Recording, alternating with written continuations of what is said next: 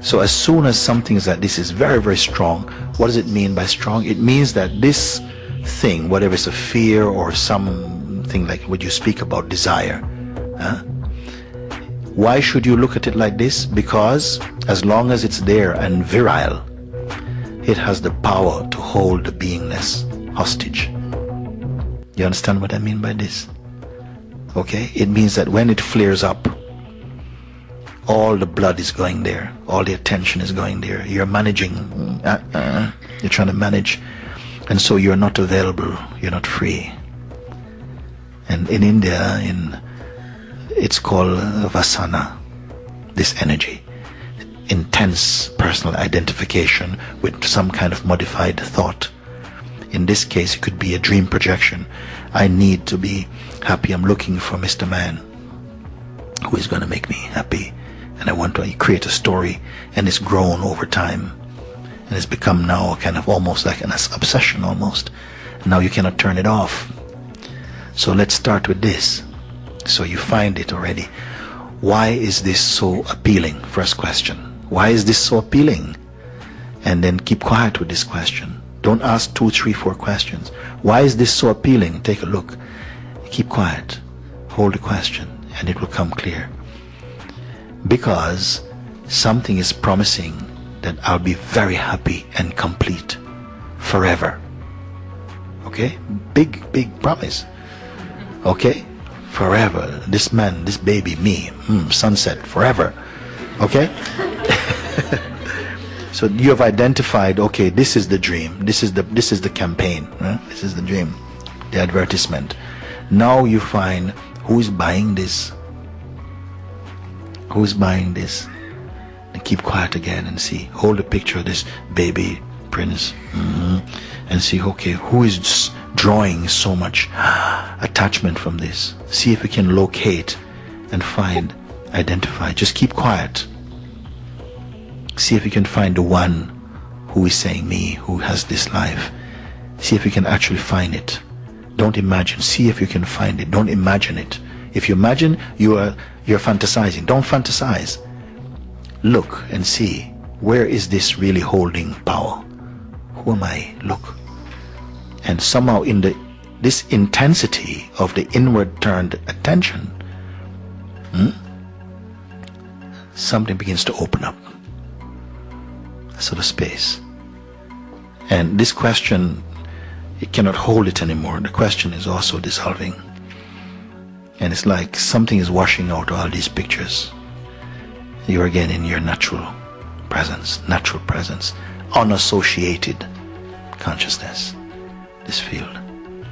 Stay there. Then something might feel, oh, great, oh, wow, this feels good. Don't identify even with that. Until only you're seeing is only here like space. Outside space, inside space, no different. There's no outside, inside. There's a feeling of existence, but it's not about anything. So this is one aspect of the inquiry for you to do. Don't have any aim, just look. You're only looking to see what is clear. What is it? What is the picture that keeps coming back? What is the pull of this picture? The pull is a promise or a fear or whatever. Identify this first. And then second question, who is suffering it or who is desiring, who is finding it appealing? Then focus here. Just hold the question. Don't chatter. Don't chatter. Don't procrastinate. Don't evaluate. Don't interpret. Just hold the question. Identify who.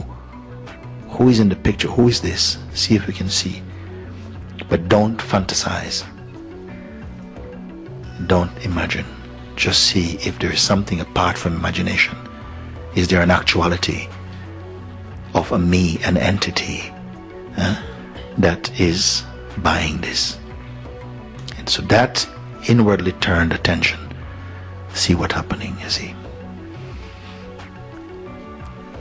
Somehow you start to feel again this space is coming now it will burn all of this noise, take all it out. It's combing out all this noise.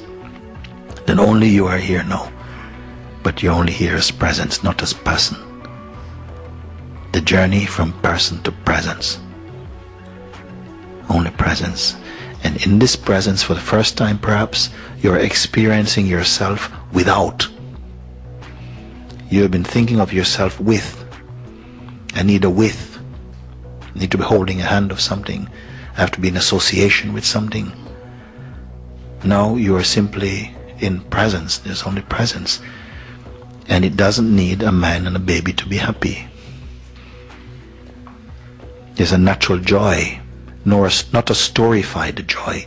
A natural joy is here.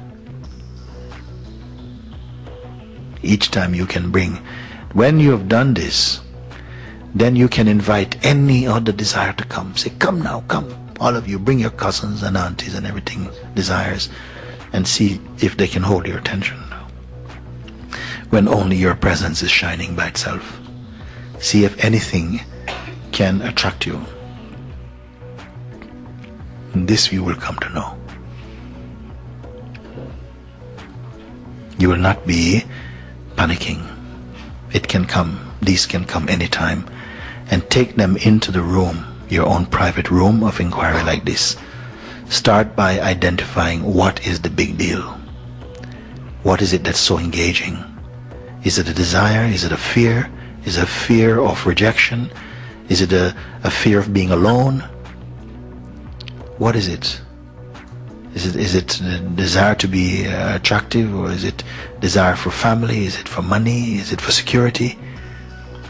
Is it a fear of dying? What is it? Identify the thing, and then try and identify the one who will suffer it. Look. This is one of the stages of inquiry.